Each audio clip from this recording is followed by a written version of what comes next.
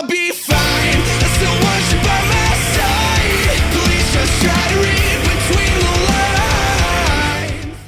Hey, what is up guys? MFK Clickz here and welcome back. So today's video is going to be another Black Ops 3 paint shop tutorial, once again provided by my good friend XCodcraft22. You guys can find a link to his channel down in the description below, be sure to check him out, he's got loads of camos over on his channel.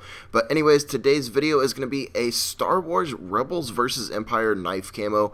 I'm a huge fan of Star Wars and thought this was absolutely awesome, and wanted to bring it to you guys as well. It's actually reversible, so if you don't like the way it is in the video, you can actually reverse it and see the design on the other side. But anyways, let me know what you guys think of this down in the comment section below. If you happen to enjoy today's video, be sure to smash that like button. But anyways, I do want to thank you guys for watching, and I will catch you guys later.